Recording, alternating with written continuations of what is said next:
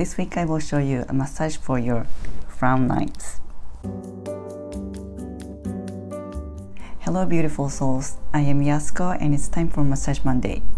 For viewers request and my own request, this week I will show you massage for your frown lines. See I have one getting deeper here.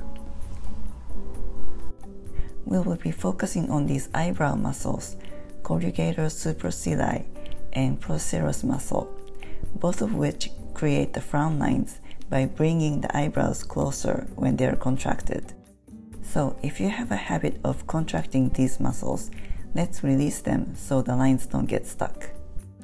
Lift up the forehead and massage the bridge of your nose sideways 10 times. You're not rubbing over the skin, your fingers contact on the skin stays and you're moving the skin over the muscle. Hold the forehead and massage 5 spots around the procerus muscles. Again, you're not rubbing over the skin. You're moving the skin over the muscles underneath. Besides massaging, you need to hydrate from the inside and outside because dryness can worsen the lines on your face.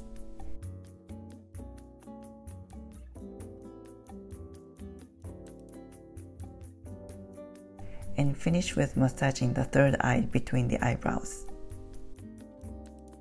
Pinch the inner end of the eyebrow and move up and down 10 times. Then side to side 10 times. Then make circles 10 times. Repeat on two more spots on the inner half of the eyebrow. Let's look at other causes. If you tend to frown often because you're not seeing well, enlarge the text or enhance your vision. If you frown often because it's too bright, wear shades or go under the shade.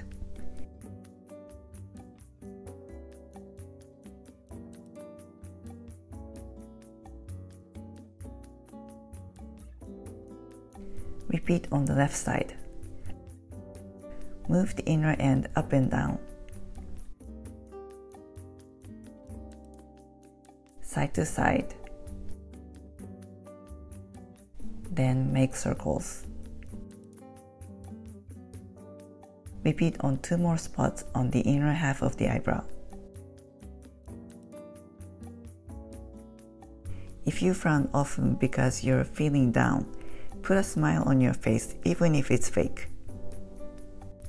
Your brain produces happy hormone just from the smiley face, and it's hard to frown and smile at the same time.